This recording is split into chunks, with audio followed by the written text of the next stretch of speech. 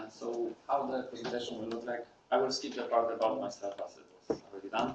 Uh, so we'll have a short introduction about the BLE. Uh, a very short uh, info about Apache Mynewt, we'll skip that. Then we will focus on NimBLE Stack, uh, what, what it is, uh, what features does it support, and uh, how the architecture of the stack looks like. Uh, we will talk about the, uh, some basics of uh, how, how to do a basic BLE work with, with that stack, the APIs. And then we will have a, a few slides about uh, portability of NimBLE Stack and how it was uh, done uh, to make it run on the RIOT OS, and some information about the future work in case somebody is interested. Okay, so we'll skip that. The history of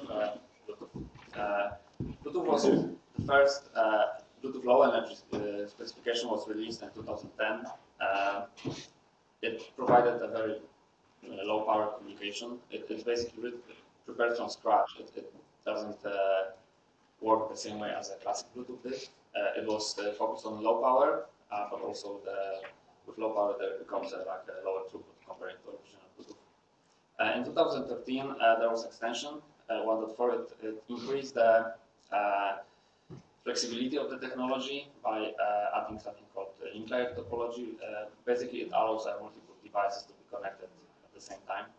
One device can be connected to multiple other devices. It wasn't possible with uh, Bluetooth Zero. Uh, in 2014, there was a big release for the two, which uh, greatly improved, improved uh, speed and uh, security of the Bluetooth uh, low energy, and it also added support for uh, IP transport over uh, BLE. And uh, two years ago, 2016, Bluetooth 5, uh, basically added uh, new files. So instead of only one megabit file, we have a two megabit file, so a bit faster. Or we have a coded file, so where we uh, extend the range at the coded speed. And advertising extensions, we are out about it uh, and last year, there was a new specification called Bluetooth Mesh, it basically uh, allows the mesh topology. Uh, so, uh, as mentioned, much simpler compared to Bluetooth Classic. Uh, so the device can be uh, simpler and cheaper. Uh, short range, typically 100 meters, with a long range that goes around 1 kilometer.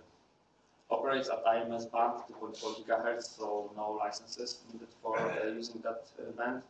It's designed for uh, low energy, so mo- most of the devices can operate on the coin cell, uh, and it can operate uh, a few years if designed well. Uh, the connection establishment is very fast. You can connect very fast, disconnect, and you can go to sleep. Uh, simple mod- modulation, so the hardware is cheap. And in Bluetooth 5, as mentioned, it supports uh, 1 megabit file that, that can give roughly uh, quarter megabit uh, for an application use optimal uh, environment. Uh, to combat interferences, we use standard techniques, frequency hopping, uh, type division, and so on. Uh, it uses uh, short data packages, so 27 bytes. Uh, it can be extended to uh, 155 with data length extension, so uh, not that big. Mm, it, it uses the 40 uh, physical channels for three for advertising, uh, the remaining are for uh, data transmission. And uh, it has uh, two algorithms for selecting the jumping the channels. Uh, the second one was introduced in Bluetooth 5, which basically improves the coexistence with the Wi-Fi.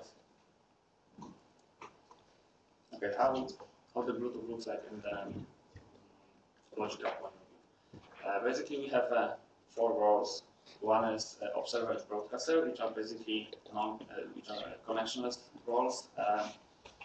One device is broadcasting, the other devices can listen to that data. It's one direction. Or we have a connection-related roles called uh, central and peripheral. Central is a device that is initiating the connection and is uh, mastering the connection. And uh, peripheral is the device that is, uh, you connect to. Typically, uh, peripheral is like a sensor and central device will be your phone. It supports both encryption and authentication. Encryption uses uh, AES, uh, and you can also authenticate, so you can protect against uh, man-in-the-middle attack if your devices, for example, screen, you can uh, confirm pairing. Uh, the basic profile you are using when, when you are uh, playing with Bluetooth low energy is generic attribute profile. It basically exposes a set of characteristics or attributes as, a, as a database, and then you can use a GATT client basically read and write those characteristics. So very simple. It, it's like uh, reading uh, Excel sheet over the, over the uh, wireless. Uh, and last thing is L2CAP connection to channels. If you want to transfer like a more binary data, for example, you have a, for example, serial over BLE, you can use a L2CAP connection to channels. It is basically a, a, logical connection inside the physical connection that can uh, uh, be multiplexed and uh, can be used uh, separately to a GATT. And basically, when, when you are transferring a lot of data, it removes the overhead of the GATT, so it, it can be a bit faster. Bluetooth. Bluetooth technology is open in terms that uh, the specifications are publicly available. You don't have to pay for, for using that. Uh, and uh, the body behind this is called the Bluetooth Special Interest Group. Uh, it consists of uh, 30,000 uh, companies now, so quite a big, quite a big number. Uh, there are two levels of membership. One is adopted, it's free, uh, and uh, one is associated, it's paid. But when you pay, you can participate in the development of the future versions of Bluetooth. but basically that body also oversees a process of qualification, which is to uh, improve interoperability of different uh, Bluetooth stacks. And uh, when, when, you want to put a marker that this device supports uh, Bluetooth Low Energy, you have to pass the qualification. So you have to show that you obey the protocol. and there's a tool called PTS, which is free for members, and it allows a semi-automated uh, testing of, of devices. Okay, so very quickly about the Apache Mynewt. It's a project for a, a permissive license Apache 2.0, uh, open source RTOS for uh, MCU uh, devices. So it's kind of competitor, right? But it's uh, it basically provides like standard features of the modern uh, RTOS. small footprint, as you can see, less than 60k of RAM needed and 64 flash to, to get it running. It has a rich features of uh, uh, networking, so Bluetooth 5, mesh, or, or and stuff like that also. Uh, it's modular, highly configurable. We uh, release, try to release every quarter. Sometimes it doesn't happen, but the last release was uh, on July. Next one is next month probably, and it's uh, it comes with own tool for management. Okay, so new. Uh, that's it. Bluetooth was originated as a part of the Apache Mynewt project. It lives in the, uh, it used to live in the uh, Apache project uh, sources repository. Uh, it is also licensed with Apache 2.0 permissive license. It's uh, driven by a community uh, under Apache Foundation. first 1.0 release was done in June this year. We plan to do releases every few months, but uh, it depends on the case-by-case -case basis when we add some interesting uh, features or fix some important bugs and so on. Uh, it passes the qualification for host part. I will in a moment explain uh, uh, what does it mean. Okay, so what features uh, we support? We basically support most of Bluetooth 5 features. So we have support for one uh, megabyte, uh, megabit, five megabit encoded. Uh, we support advertising extensions. Uh, it is low energy only stack, so it, it doesn't support like a Bluetooth Classic. Uh, it's only for, for low energy. It has support for a full set of GATT features, so you can be any of the four supported roles. Um, uh, it supports privacy. Privacy is a feature of a few words about this system in a way, how Bluetooth connection is created, device always has to advertise with its own address. So you could track the device uh, even if you don't uh, connect to it, where, where, you move with that device. And the privacy feature basically allows you to rotate mm, that address in a special way that devices without the proper keys won't be able to distinguish the address uh, of your device. Uh, uh, so only, only device that knows the key can identify the random address that is actually this specific device. Uh, we support multiple connections uh, and multiple concurrent roles, so you can be central and peripheral at the same time. You can connect to one device and then all the devices can connect to you. Uh, security manager is supported, so you have a pairing uh, which provides you with encryption and authentication if needed, so you can secure your communication. Uh, we also support uh, both legacy pairing from Bluetooth 4.0 and secure connections uh, uh, Diffie-Hellman elliptic curve for key uh, distribution, so it's quite secure. Generate attribute profile, so accessing the remote database is supported, both roles, the server and the clients, we can be both. Connection the channels are also supported, so if you need to transfer some bigger binary block or something, you can, you can also use it. And we have a port of a Bluetooth mesh Zephyr project as well, that is running on top of uh, stack. Uh, architecture. Uh, basically, the stack is split into two parts. One is host and one is controller. And uh, you can configure to use either of, of that. Uh, why? Uh, if you're running on a single chip, you can have both host and controller, but you can have a controller as a BLE chip on a separate MCU, and they can communicate using uh, other type of, uh, of uh, transport. So you have a lot of flexibility on how your application and how your hardware looks like.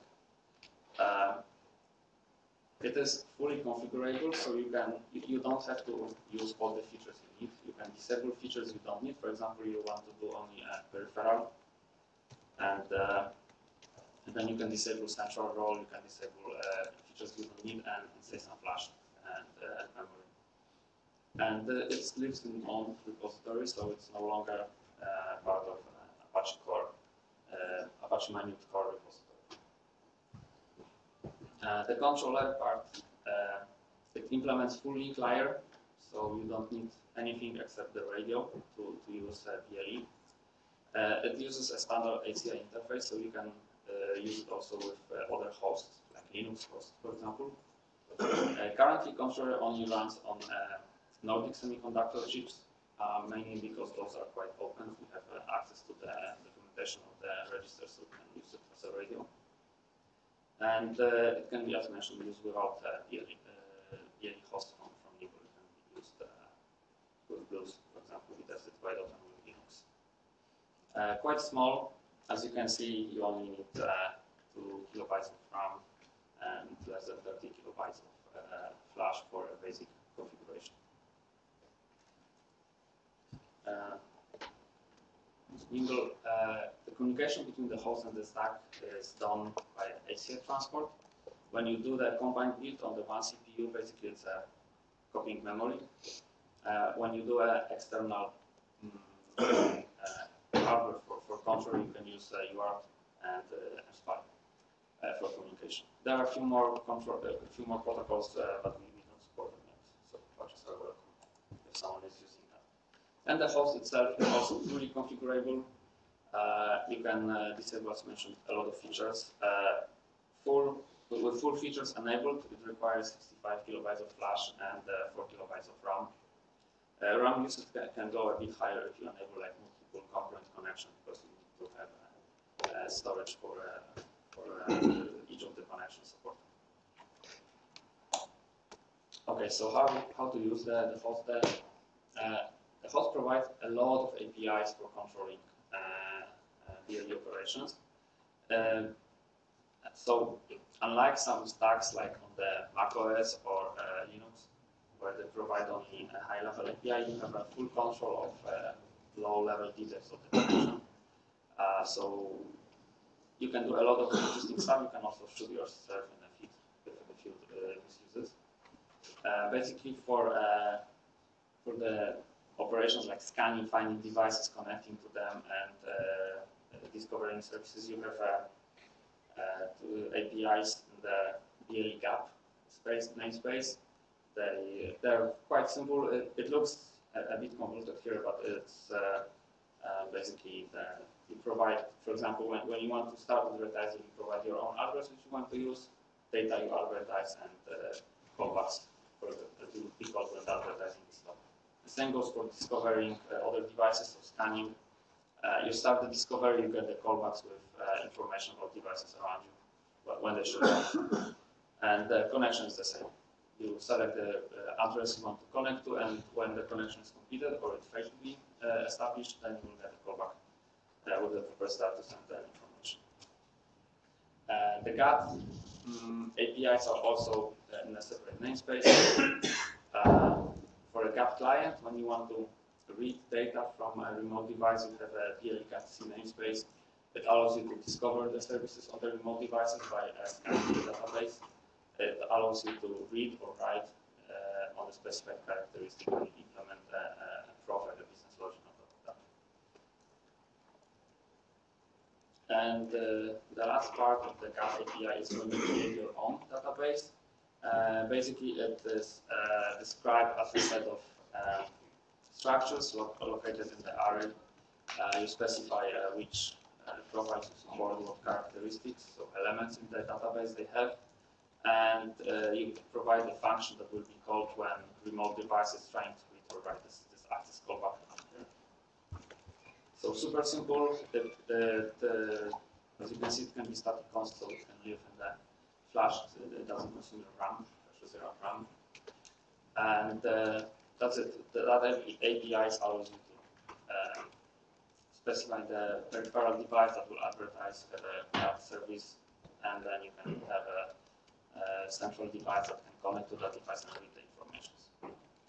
Uh, yeah. Mm, there's a lot of the uh, documentation is always nice, but uh, looking at the live code is uh, much easier. So there's a lot of uh, examples in the repository where you can look at how to how to use that APIs. Uh, we have a, a BLE HCI sample, which basically is implementation of the controller only, uh, allowing you to use the uh, UART communication for uh, HCI transport.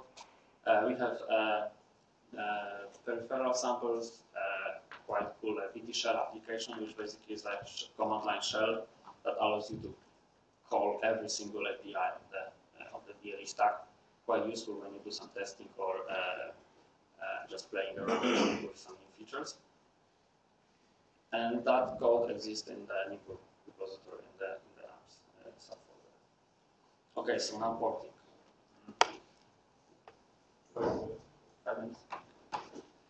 Uh, so, it originated from the Apache so of course Apache Mynewt supported as, a, as an operating system. We have a port to FreeRTOS, a port to RIOT, and there's a working uh, port to the Linux. Of course, for Linux, we have only host, you cannot run uh, uh, the layer in Linux. Uh, so, how we do that, that, the, the, that you can port a BLE stack to so many, uh, so many operating systems. Basically, we moved NimBLE stack from, as mentioned, from the Apache Mynewt repository to separate repository, so that it's easier to be used. Uh, we make sure that uh, all the OS-specific uh, APIs are inter uh, are uh, wrapped around so that uh, each OS can implement them. We re- refactor the NimBLE host, the NimBLE code, so that it doesn't use any of the Apache Mynewt features directly. And by directly, I mean like touching the fields and the structures that are private and so on. Um, and uh, some of the missing APIs that we used uh, in the um, Apache Mynewt are now wrapped as an OS APIs that needs to be implemented. Uh, we fix a lot of uh, bugs related to building outside of uh, Apache Mynewt uh, Apache Mynewt project, and there are few places where we need to do a conditional compilation, but there are like exceptions from the general rule. And uh, one part that needs to be uh, needs to be copied from Apache Mynewt is uh, data structures, which are like they're like the core of Apache uh, Mynewt and Apache NimBLE. So things like uh, memory buffers for copying data around and uh, some memory pools and stuff like that. Those are used as is in the Apache Mynewt, uh, but uh, we have a copy of that, so uh, other OSs don't, don't need to care about them too much. And then, as a last point, we change all the APIs names for the OS specific tasks from OS to BLE NPL. So this uh, NPL is basically like we call it a NimBLE porting layer. So it's a set of abstractions, um, APIs on top of uh, operating system that needs to be implemented if you want to run NimBLE in your operating system. So things like mutex system force, uh, timers, uh, handling of uh, ticks, and a few other calls, those need to be implemented. The APIs needs to be implemented by the OS. Mm. Okay, some some initialization code uh, is like OS specific and it needs to be implemented either in the porting layer on the OS itself, but in, in general it's uh, quite straightforward uh, to implement this. Uh, the, the, the, nice thing about this approach is that Apache Mynewt, although it's originate, we originated from that project, is not it's, it's not special anymore. So uh, also Apache Mynewt is basically implementing the NPL interfaces. Uh, so all the supported operating system are equal citizens. Uh, there is, of course, main development happens in Apache Mynewt, but uh, the, the way NimBLE code is structured is uh, not uh, very specific to Apache Mynewt anymore. Okay, and how it turns out that the, the RIOT port happens. So basically, the NPL port for RIOT was merged into a, a NimBLE repository before 1.0 release. Uh, Riot provides the package uh, that basically downloads the NimBLE uh, from the repository. It doesn't require any extra patches, so the straight upstream release of NimBLE can be built as a package for the RIOT and uh, ex minimal extra setup is needed to do basically calling few initialization functions. Uh, there's a sample in the RIOT in the example folder, which you can look. Uh, it basically implements a simple peripheral device, so you can start playing with uh, with a NimBLE. What works? Uh, all the Bluetooth core features work, so you can be central, peripheral, you can have GATT, security for pairing for security, uh, and so on. So everything is supported.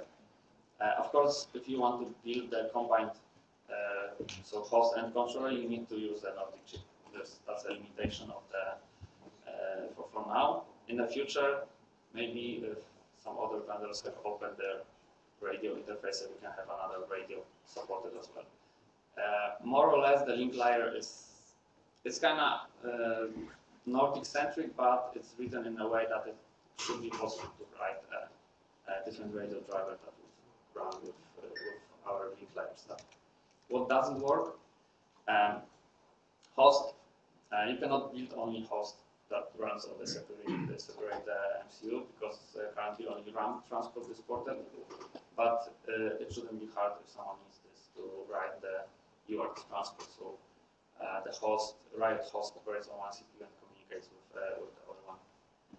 And Bluetooth mesh is not ported yet in 1.0 release, uh, but it is ported in the upcoming 1.1 release, which we plan to do uh, maybe next month. And uh, fun fact, the whole porting took place in Paris in May. Uh, it took uh, like three days of coding to get NimBLE running. Uh, all the credits goes to Andrzej Kaczmarek and uh, Hauke Petersen for doing that. So uh, three days of work and you have a NimBLE running on RIOT, so quite uh, uh, quite fast, I would say. Okay, future work. As I mentioned uh, in the beginning of the presentation, the host part is qualified, so you can use it. We are currently working on qualifying the link layer and the HCI interface. Uh, hopefully this will happen uh, in the next few weeks and the next release will have a full qualification. So it's like a product ready. Uh, we want to add support for a Bluetooth 5 feature that is still missing called periodic advertising. This is basically a, a set of like synchronous broadcasts that you can register to. And uh, we want to improve the samples uh, needed uh, so that good samples are always better than uh, good. Uh, and we constantly improve the mesh support by uh, syncing, synchronizing with Zephyr and also providing fixes. Mm. Okay, if you found the bug, please contribute.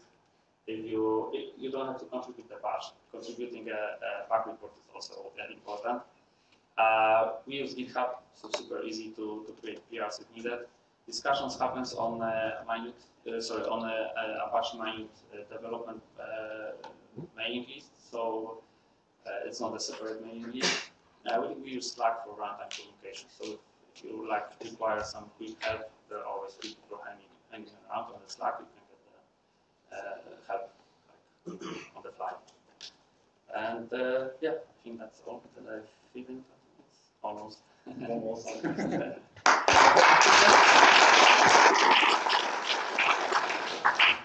We are a little bit behind schedule, but I think we have room for one or two short questions, if there are any.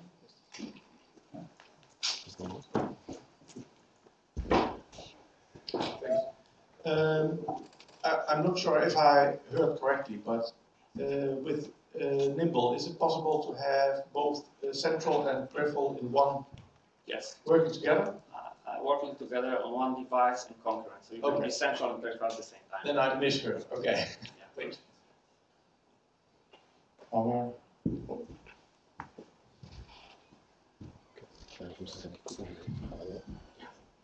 Uh, I would want to ask about IP over BLE. Could you say something about uh, Yeah, we if can or when cover to come to uh. Okay, so uh, IP over uh, uh, BLE is using a connection at the channels that we have support for.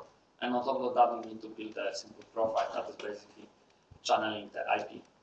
So if you have the IP stack on your OS, it shouldn't be hard to add. Uh, yeah. It, it's it's progressing, but it, it's progressing already for a long time, and it, it's not that trivial to uh, integrate everything. So you, you need to OS that has uh, support for uh, 6LoWPAN and uh, IP in the first place, and then then integrating that with uh, NimBLE. is- Does it answer your question? Yes, thanks. okay, uh, but thank uh, Szymon again, and uh, we'll get more time.